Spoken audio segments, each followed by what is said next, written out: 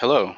This webinar will discuss how to receive funds under an awarded grant from the state, tribal, local, Plans and Grants Division of the National Park Service. These instructions are only for those who have been notified that they have received a grant. Grant applicants should not follow these instructions.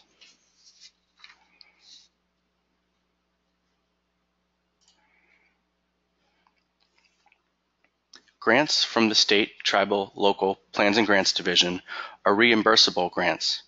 Generally, this means that you have spent your own money before drawing down federal funds to pay yourself back. Working with your grant manager, you may be permitted an advance. This means that you will be drawing down federal funds to meet your immediate cash needs without having spent your own money first. For questions about this process, please work with your assigned grant manager. When you are ready to draw down funds, we use a system called the Automated Standard Application for Payments, or ASAP, to transfer money to you. It is an electronic online payment application available 24-7.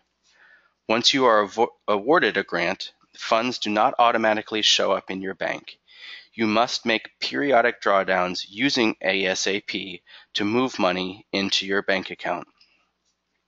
Instructions on how to draw down funds and general browser configuration requirements are available at go.nps.gov slash pay. For detailed questions on using ASAP, account maintenance, and user roles, please contact the ASAP Help Desk at 1 855-868-0151 and follow the options on this slide. When you are ready to make a drawdown, as previously mentioned, our grants are generally reimbursement grants. You will need to have a staff member with the appropriate roles log into ASAP and make a drawdown using one of two options, either an ACH drawdown or Fedwire. You should review roles and responsibilities in ASAP with your staff to ensure an appropriate separation of duties, also called a separation of roles, and think strategically about who can do what within ASAP. For example, is it really appropriate for one person to have all the roles? How will you handle drawing down if someone is unexpectedly out of the office? When you have resolved these issues and are ready to make a payment request in ASAP, funds are pushed to your account using the ACH Automated Clearinghouse payment process or the same day Fedwire payment process previously mentioned.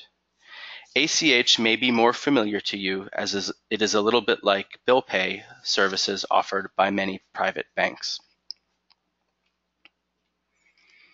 When you are ready to make a drawdown, you need several important pieces of information.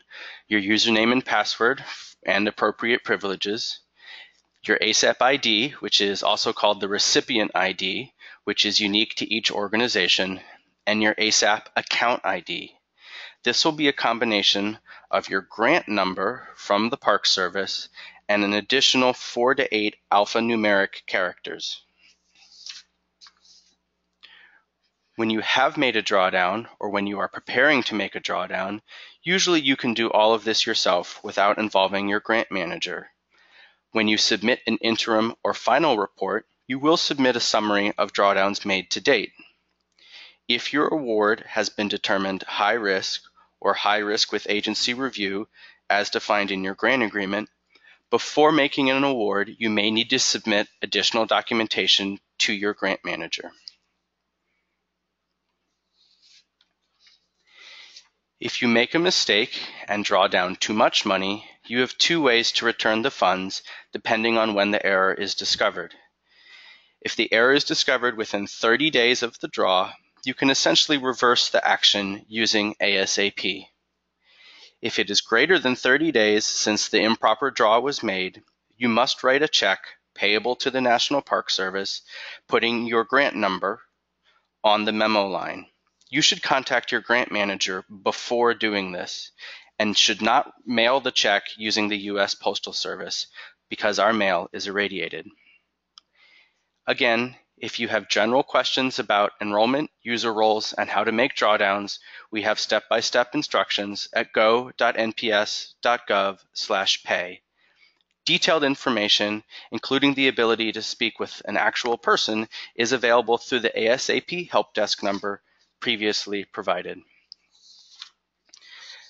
When you are ready to move forward in the ASAP enrollment process or the ASAP drawdown process, make sure that you have thought about the separation of duties as previously mentioned.